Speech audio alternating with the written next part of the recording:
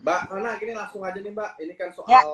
eh, apa ya keresahan teman-teman pengusaha nih terkait Hmm. keputusan pemprov Ya. DKI beberapa waktu lalu terkait peningkatan tarif eh, pajak hiburan eh, terutama untuk karaoke, klub malam dan dan spa gitu yang angkanya minimal 40% dari sebelumnya 25% ya Mbak. Ya.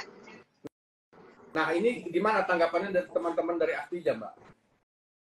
Iya, tanggapannya sih sadis mas. Ini mah pembunuhan ya, tanda kutip ya, pembunuhan usaha namanya. Karena eh, dan eh, lucunya gini ya, lucunya undang-undang itu eh, kalau banyak kan sudah dituangkan perda nomor satunya nih kemarin di Jakarta.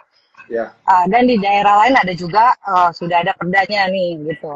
Nah, kita justru nggak ngeliat 40-nya. 40 aja uh, kita justru melihat plafonnya itu 75 gitu. Bagaimana Oh, maksimalnya ya.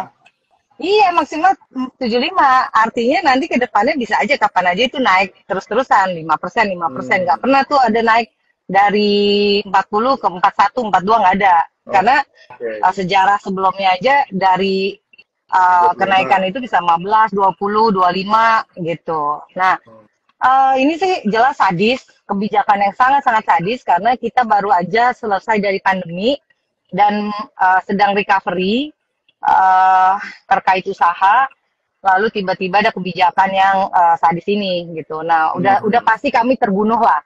Kenapa? Karena um, apa namanya usaha sedang tidak baik-baik saja ditambah lagi daya beli masyarakatnya yang eh, yang sedang eh, susah juga gitu. Hmm. Nah kalau alibi dari teman-teman apa dari pihak pemerintah pusat bilangnya Kementerian Keuangan ya ini adalah kategori usaha apa namanya pajak tertentu. Ya. Lalu dibilang eh, usaha hiburan sudah sudah Oke. apa namanya sudah membaik. Ya. Oh ya gitu. Ini lucu sekali. Justru saya bilang mereka-mereka ini yang buat kebijakan justru buta sama keadaan di lapangan di masyarakat. Hmm. Harusnya sebagai orang yang pinter ya, mereka tahu. Mereka orang-orang pinter lah. Kami orang-orang awam justru. Harapan kami justru mereka-mereka ini yang punya budget dana yang dibiayai oleh negara justru mempunyai kajian, Mas. Contoh, Hmm. siapa aja sih sel- eh, apa namanya pengguna jasa hiburan dari umur berapa, range berapa, pendapatan berapa? Karena secara apa waktu sekarang sudah bergeser, mas. Pengguna hiburan itu siapa? Anak-anak milenial gitu loh.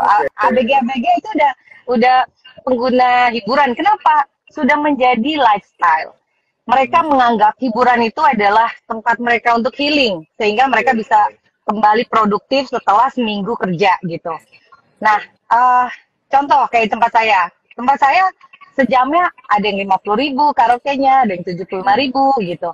Nah, bagaimana bisa orang mau nyanyi doang dianggap itu adalah eh, pajak tertentu, tanda Ya. petik tertentu apa?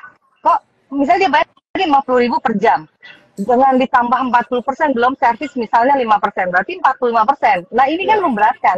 Sementara yang datang tuh adik-adik kita yang masih muda-muda, uangnya kantongnya pas-pasan, datang juga datang juga nanya dulu kak lagi ada promonya, ada diskonan nggak? Nah ini menyakitkan banget buat saya sebagai pengusaha ketemu sama konsumen yang mana saya sendiri yang harus mensosialisasikan kebijakan 40% ini. Sementara pemerintah belum mensosialisasikan kepada masyarakat gitu.